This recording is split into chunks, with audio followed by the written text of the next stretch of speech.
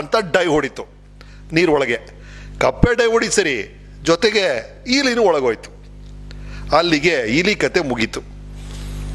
ಇಲಿ ಸತ್ತೋಯ್ತು, ಶವ ತೇಲ್ತಾ ಇದೆ, ಕಪ್ಪೆ ಹ್ಯಾಪಿಯಾಗಿ ತಿಂತಾ ಇದೆ. ಮೇಲ್ಗಡೆಯಿಂದ ಒಂದು ಕಾಗೆ ನೋಡ್ತು. ಇಲಿ ಸತ್ತೋಗಿದೆ. ವಾವ್, ಲವ್ಲಿ ಬ್ರೇಕ್ಫಾಸ್ಟ್ ಅಂತ ಡೈ ಹೊಡಿತು ಇಲಿನ ಎತ್ಕೊಂಡು ಹೋಯ್ತು. ಹಗ್ಗ ಕಟ್ಟಿತ್ತಲ್ಲ, ಜೊತೆ ಕಪ್ಪೇನು ಹೋಯ್ತು. ಯಾಕೆ ಹೇಳ್ತಾ ಇದ್ದೀನಂದ್ರೆ ಯಾರ ಜೊತೆ ಹಗ್ಗ ಕಟ್ಕೊಳ್ತೀರಾ? ಕೇರ್ಫುಲ್ ಆಗಿರಿ. ನಿಮ್ಮ ಮೆಂಟಾಲಿಟಿಗೆ ಸೂಟ್ ಆಗೋರು ನಿಮ್ಮ ಫ್ರೆಂಡ್ಸ್ ಆಗಿರಬೇಕು.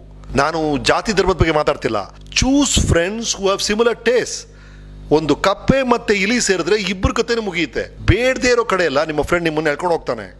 ಹಾಗಾಗಿ ಫ್ರೆಂಡ್ಸನ್ನ ದಯವಿಟ್ಟು ಆಯ್ಕೆ ಮಾಡುವಾಗ ಬಹಳ ಬಹಳ ಸೂಕ್ಷ್ಮವಾಗಿ ಯೋಚನೆ ಮಾಡಿ ಆಯ್ಕೆ ಮಾಡಿ. One bad friend one bad influence can change your life drastically in the wrong direction at the same time one good influence, one good influence, ಒಬ್ಬ ಒಳ್ಳೆ ಟೀಚರ್ ಒಬ್ಬ ಒಳ್ಳೆ ಫ್ರೆಂಡ್ ಒಬ್ಬ ಒಳ್ಳೆ ಮೆಂಟರ್ ನಮ್ಮ ಇಡೀ ಜೀವನವನ್ನ ಪಾಸಿಟಿವ್ ಆಗಿ ಬದಲಾಯಿಸ್ತಾರೆ. So please be careful about ಯಾರ ಜೊತೆ ಟೈ ಮಾಡ್ಕೊಳ್ತೀರಾ ಅಂತ. And the biggest tie up ಮದುವೆ ಅಂತ ಮುಂದೆ ಬರುತ್ತೆ. ಕೇರ್ಫುಲ್ ಆಗಿರಿ. ಕನಸುಗಳು ಈಡೇರಬೇಕು ಅಂದ್ರೆ ಎರಡು ವಿಷಯಗಳು ಬಹಳ ಮುಖ್ಯ. ನಿಮ್ ಕನಸುಗಳು ಏನೇನಿದೆ, ಏನೇನೋ ಮಾಡಬೇಕು ಅಂತ ಆಸೆ ಪಡ್ತೀರಾ? ನಾನು ಅದು ಮಾಡಬೇಕು, ಇದು ಮಾಡಬೇಕು, ಹಾಗೆ ಮಾಡಬೇಕು, ಹೀಗೆ ಮಾಡಬೇಕು.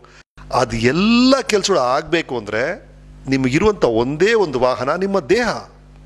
ನನ್ನ ಕನಸುಗಳನ್ನ ನೀವು ಈಡೇರ್ಸಕ್ಕಾಗಲ್ಲ, ನಾನೇ ಮಾಡಬೇಕು. ಅದಕ್ಕೆ ನಾನು ಫಿಟ್ ಆಗಿರ್ಬೇಕು. ನಮ್ಮ ವೀಕೆಂಡ್ ರಮೇಶ್ ಅಲ್ಲಿ ನಮ್ಮ ದೇವೇಗೌಡರ ಎಪಿಸೋಡ್ ಅಲ್ಲಿ ನಾನು ಹನ್ನೆರಡು ಗಂಟೆ ನಿಂತ್ಕೋಬೇಕಾಗಿತ್ತು. ಟ್ವೆಲ್ ಅವರ್ಸ್ ನಿಮ್ಮ ಬಾಡಿ ನಿಮಗಿರುವಂಥ ಅದ್ಭುತವಾದಂಥ ಗಿಫ್ಟ್ ಈ ಏಜಲ್ಲಿ ನಿಮಗೆ ಬರುವಂಥ ಬ್ಯಾಡ್ ಹ್ಯಾಬಿಟ್ಸು, ಸಣ್ಣ ಸಣ್ಣ ಇಂಟ್ರಡಕ್ಷನ್ಸು ಪರಿಚಯಗಳಾಗ್ತಿರುತ್ತೆ, ಅದೆಲ್ಲ ಸ್ವಾಭಾವಿಕ.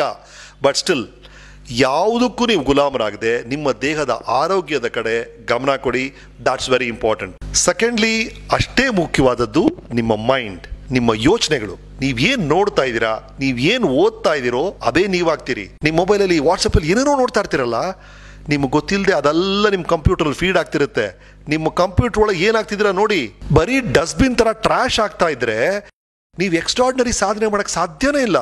ಎಂಟರ್ಟೈನ್ಮೆಂಟ್ಗೋಸ್ಕರ ಸ್ವಲ್ಪ ಹೊತ್ತು ಅದು ಇದು ನೋಡೋದಲ್ಲ ಓಕೆ ನೀವು ನೋಡುವಂತ ವಿಷಯಗಳು, ನೀವು ಓದುವಂತ ವಿಷಯಗಳೇ ನಿಮ್ಮ ಜೀವನವನ್ನ ನಿರ್ಣಯ ಮಾಡುತ್ತೆ. ಹಾಗಾಗಿ please don't abuse your mind and of course the last